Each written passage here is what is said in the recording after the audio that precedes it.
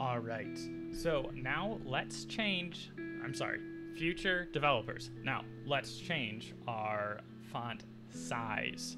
So very simple, like we did before. We can change the font size even of something like a heading that has a more specific set size.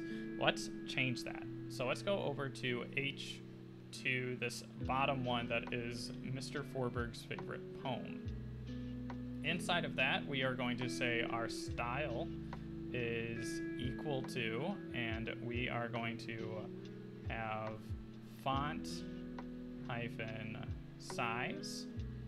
And font sizes are actually done inside of percentages. So if we wanted to make this larger, let's say that we want to make it 200% larger. So we're going to do 200% and then we'll do a semicolon right there and we will close up that.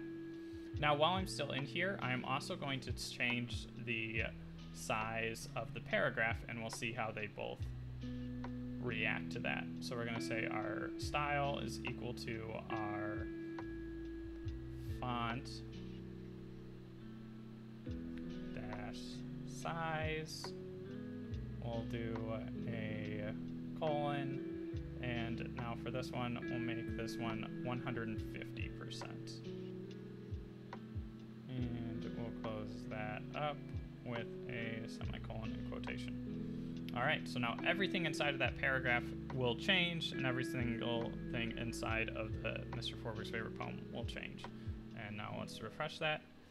And we've got some increased font sizes right there.